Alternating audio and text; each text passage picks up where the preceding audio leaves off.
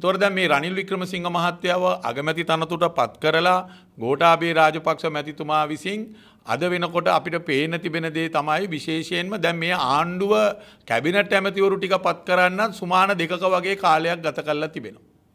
දැන් ඒ ගත කරලා තවම ආණ්ඩුවට නිශ්චිත ආකාරයේ ස්ථාවර කැබිනට් එකක් පත් කරගන්න හා ඊළඟට ඒ අවශ්‍ය නියෝජ්‍ය ඇමතිකම් රාජ්‍ය ඇමතිකම් ඒ සියලු දේවල් පත් කරගන්න තවම සති දෙක කාලය තුළදීත් ඒගොල්ලු අසමත් වෙලා තිබෙනවා. තොට මේ අසමත්වීම තුළ පෙන්නන්නේ ජාත්‍යන්තරයට ආණ්ඩුව ස්ථාවර භාවයක් නොමැතිකම ජාත්‍යන්තරයට ආණ්ඩුව පෙන්න්නනවා. ඊළඟ කරුණ තමයි ආණ්ඩුව කියන්න හදනවා මේක සර්වපාක්ෂික ආණ්ඩුවක් කියලා. නමුත් අපිට පේන තියෙන දේ තමයි මේක සර්වපාක්ෂික ආණ්ඩුවක් නෙමෙයි. ගෝටාපේ රාජපක්ෂ මහත්තයා විසින් රනිල් වික්‍රමසිංහ මහත්තයාව අගමැත්තුනට පත් කරලා ඊළඟට මේ ආණ්ඩුවේ අපි මේකේ තිබෙන සංකලනයන් හා මේකේ තිබෙන එකතුව අපි අරගෙන බැලුවොත්තේම ඔක්කොමලා පෞගිය පොදුජන පෙරමුණේ ඡන්දය ඉල්ලලා පොහොට්ටුවෙන් ඡන්දය ඉල්ලලා පත්වෙච්ච අය තමයි මේ ආණ්ඩුවද ඇමතිවරු වෙලායින්. අපේ අර ගිය දෙන්න ඇරෙන්න.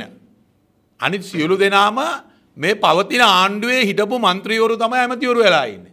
සමහර අය පළවෙනි වතාවට ඇමතිකම් අරන් තියෙනවා. සමහර අය කාලයක් ඇමතිකම් දරලා ගෝඨාභය රාජපක්ෂ මහත්තයා ඉවත් කරාට පස්සේ ඒගොල්ලෝ නිශ්ශබ්දව ඉඳලා ආයි ඇමතිකම් අරන් තියෙනවා. සමහර අය දිගටම ඇමතිකම දරාගෙන ඇවිල්ලා තියෙනවා. මහින්ද රාජපක්ෂ අගමැති වෙලා ඉන්නකොටත් ඇමතිකම් දරලා තියෙනවා. ඒ අයම තමයි නැවත රනිල් වික්‍රමසිංහ මැතිතුමා පත් වුණ කොටත් දැන් ඇමතිකම් දරලා තියෙන්නේ.